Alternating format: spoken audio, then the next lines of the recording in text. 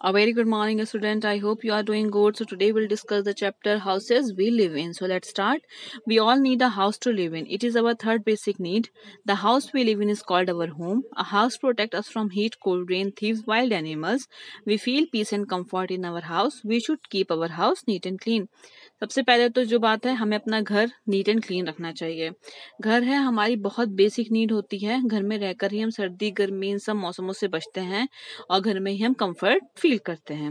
Next move on to types of houses people live in different type of houses they are kachcha house some people make a house of mud straw grass wood bamboos etcetera such houses are called kachcha house बहुत से लोग जो हैं, वो अपने घर को मिट्टी का बनाते हैं। उसमें स्ट्रॉ का यूज़ करते हैं, घास का वुड का बैम्बूज का। तो जो इन सब चीज़ों से बनता है, वो हमारा कच्चा हाउस कहलाता है। दे आर टेम्परेरी हाउस ये टेम्परेरी हाउस होते हैं, बहुत स्ट्रांग नहीं होते हैं। They are generally found in village mostly हमें कहाँ देखने के लिए मिलते हैं? गाँव में। Hut in hut is an example of kachcha house झोपड़ी जो होती है, वो हमारे कच्चा हाउस का एक एग्ज़ाम्पल होती है। Next move on to pakka house some people make a house from cement bricks concrete sand iron stone etcetera these houses are called pakka house जो घर, बहुत सारे लोग हैं जो अपना घर बनाते हैं सीमेंट से, पत्थर से कंक्रीट से। तो ये वाले हाउस जो होते हैं, जो सीमेंट से बनाए जाते हैं हमारे पक्का हाउस कहलाते हैं। ये हाउस कहाँ पाए जाते हैं? शहरों में। ये बहुत बड़े होते हैं, बहुत स्ट्रांग होते हैं और परमानेंट हाउस होते हैं। Next move on to good home a good home has doors and windows to let in sunlight and fresh air the sun rays kill the germs the sunlight help to keep our houses free of germs जो good house होते हैं, उसमें door और विंडे door और Windows होती हैं, जिससे sunlight हमारे घर में आती है फ्रेश एयर आती है, जो सूरज की किरणें होती हैं और जर्म जर्म्स जो होते हैं घर में उनको मार देती हैं और हमारे घर को जम फ्री रखने में हेल्प करती हैं।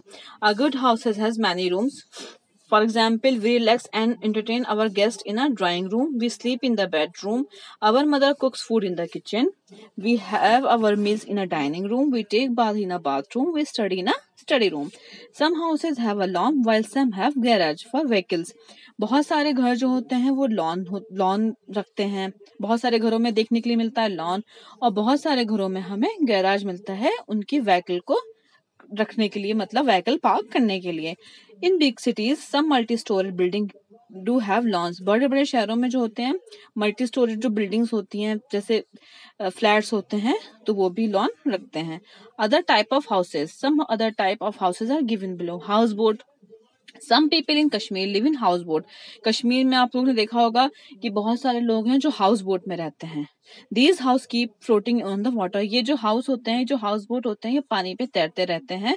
These house boat are found in Dal lake Dal lake में कश्मीर में डल लेक पे ये हाउस बोट इजली हमें देखने के लिए मिलते हैं। Caravan Banjaras and gypsies live in caravans a caravan move on wheels the people who live in caravans are called nomads जो बंजाराज होते हैं और जिप्सीज होते हैं, वो कारवांस में रहते हैं। कारवान जो होते हैं, वो व्हील पे मूव करता रहता है और जो इन कारवांस में रहते हैं, वो नोमैट कहलाते हैं।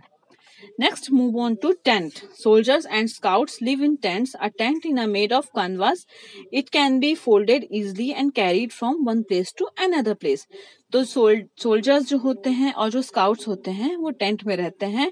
टेंट जो है, वो कैनवास का बना हुआ होता है और ये फोल्डेड करके हम इजिली इसको कहीं पे भी ले जा सकते हैं। बहुत इजी टू कैरी होता है ये।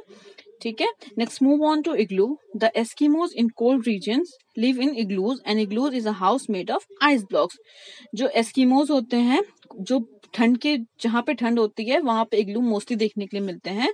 इग्लू को हम कैसे बनाते हैं? आइस ब्लॉक से। आइस ब्लॉक की हेल्प से इग्लू को बनाया जाता है। Stilt house a house built on stilt is called a stilt house it is made at place where it rainy heavily where it rains heavily, it is so built that fruit water cannot enter it. Stilt house जो होते हैं, वो ऊँची ऊँची जगह पे बनाए जाते हैं। जहाँ पे बारिश बहुत ज़्यादा होते हैं, बहुत ज़्यादा बारिश होती है, वहाँ पे स्टिल्ट हाउस बनाए जाते हैं। It is so build that flood water can not enter it ये इतनी ऊंचाई पे होते हैं और ऐसे बने हुए होते हैं कि इसमें पानी एंटर नहीं कर पाता है। Now move on to roofs of houses houses have different type of roof houses in plain areas have flat roof houses in hilly area with heavy rainfall and snowfall have sloping roof बहुत सारे house में आप normal छत देखने के लिए मिलती है। बहुत सारे हाउसेज में हम देखते हैं नॉर्मल जो छत है, जो प्लेन एरिया में फ्लैट रूफ्स मिलती हैं, ठीक है? हाउसेज इन हिली एरिया जहाँ पे हिली एरियाज़ होते हैं, जहाँ बहुत बारिश होती है, बहुत बर्फ़ पड़ती है, वहाँ पे स्लोपिंग रूफ होती है, ताकि इजली पानी या इजली बर्फ़ वहाँ से निकल जाए। Next, move on to people who build a house. Services of many people are required to build a house. An architect draw a plan, plan for a house. A mason lays the bricks of the walls. A carpenter makes door and windows. तो बहुत सारे लोगों का जो contribution होता है उससे एक घर तैयार होता है जैसे आर्किटेक्ट जो होते हैं उनके क्या काम होता है प्लान करना हाउस को कि हमें कहाँ से बनाना है, कैसे बनाना है। मैसन जो है, वो हमारे घर के लिए एक एक दीवार बनाता है मतलब ब्रिक्स की ईटों की दीवार बनाता है। कारपेंटर डोर्स और विंडो को बनाता है। An electrician fit the electrical wire switches etcetera electrician की हेल्प से ही इलेक्ट्रिक वायर्स पूरे घर में हम फैलाते हैं स्विचेस लगवाते हैं। और plumber fits water pipe plumber हमारे क्या हेल्प करता है? वाटर पाइप फिट करने में करता है। A painter paint the wall घर की जो खूबसूरत वॉल होती हैं, जो हम पेंट करे हुए देखते हैं, वो पेंटर की हेल्प से बनती हैं। We must also make sure that our houses have windows and door to let fresh air and sunlight in हमें घर बनाने से पहले सबसे ज़्यादा इस बात का ध्यान रखना चाहिए कि घर की विंडो और जो घर की डोर्स हैं, जो दरवाजे उनसे फ्रेश एयर और सनलाइट हमारे घर के अंदर ज़रूर आए, जो कि हमारी ज़िंदगी के लिए, जीवन के लिए बहुत ही इंपॉर्टेंट होती है। So here we end the chapter I hope you have understood if you have any queries can ask me till then thank do your given homework and learn the chapter as well. Thank you